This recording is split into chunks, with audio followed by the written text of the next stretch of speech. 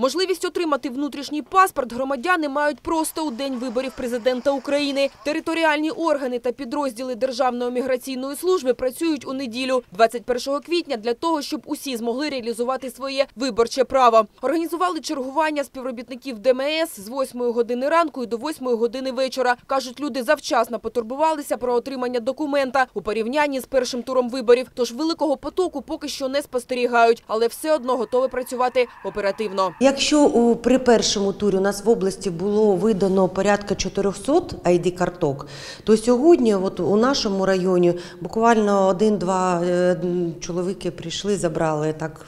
Більш поки нікого немає, але ще не час, ще до восьмої вечора ми працюємо, тому ми всіх чекаємо. Так совпало, я уезжала за границу, и вот так получилось, что я приехала и пол- захотела так, чтобы по-быстренькому сейчас получила паспорт поя- пойду уже голосовать.